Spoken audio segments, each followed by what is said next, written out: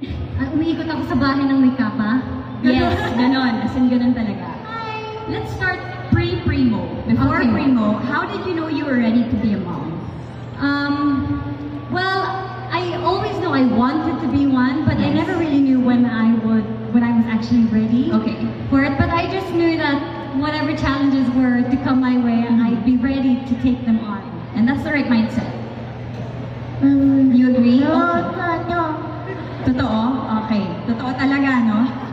Totoo? Yes. Okay. Yes, daw. Thank you for that comment, Kuya Primo. Sino dito ang magiging first-time mom?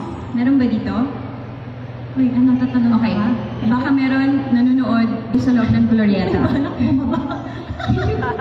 can you can you tell us the biggest adjustment it was that you had with Primo when you became a first-time mom? Yung biggest adjustment, yung the breastfeeding. Yes. the around the clock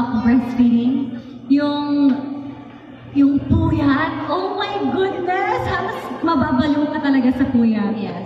Um, that I did not expect. Mm-hmm. And even though sinasabi nila, eh, di ba artista ka, di ba sanay ka naman sa puyat, iba. Iba yung kuya. Iba yung puyat ng isang, yes.